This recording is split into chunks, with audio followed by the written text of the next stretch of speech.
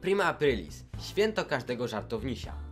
Żarty właściwie możemy je robić codziennie, ale ten dzień jest takim dniem szczególnym dla właśnie wszystkich takich żartownisiów. Każdego roku właściwie słyszysz, jak ludzie o tym gadają, o Prima Aprilis i pewnie chciałbyś kogoś wkręcić. Dzisiaj chcę Wam pokazać trzy takie według mnie całkiem fajne, proste i szybkie do zrobienia żarty, które możecie zrobić swojemu koledze, rodzicom czy komukolwiek innemu. Także oglądajcie. Przed obejrzeniem filmu zostaw suba, możesz też kliknąć dzwoneczek, aby żaden nowy film na moim kanale Cię nie ominął. Dzięki za uwagę. Na pewno każdy z nas ma takiego kolegę, który cały czas gra na komputerze. Który po prostu lubi swoje stanowisko, no i siedzi na nim praktycznie całe dnie, gdy ma wolny czas. Mam taki fajny kawał dla takiego właśnie kolegi. Ej, dlaczego to nie działa? Halo, myszka się znowu zepsuła? Ej, no podłączona jest, no co jest? Halo? No świeci się. Co się stało? Ha! No bardzo kurwa śmieszne.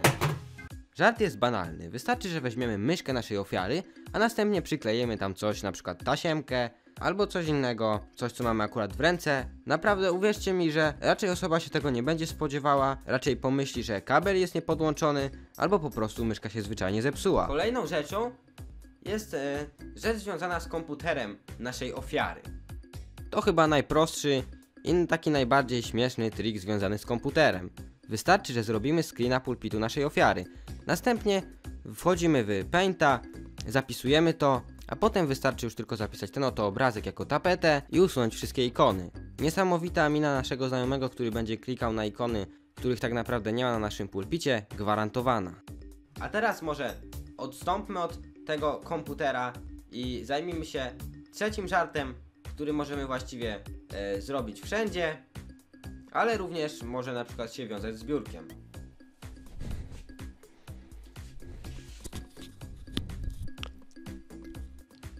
Do tego trolla będzie nam potrzebny papier toaletowy, a raczej rolka z papieru toaletowego. Nie pytajcie nawet skąd mam rolkę z papieru toaletowego na biurku. Następny trik to tak zwana sztuczna kupa. Jest to bardzo proste do zrobienia. Bierzemy rolkę papieru toaletowego, następnie rozdzieramy ją tak, aby można było ją nieco spłaszczyć. Tak, aby można było ją nieco spłaszczyć.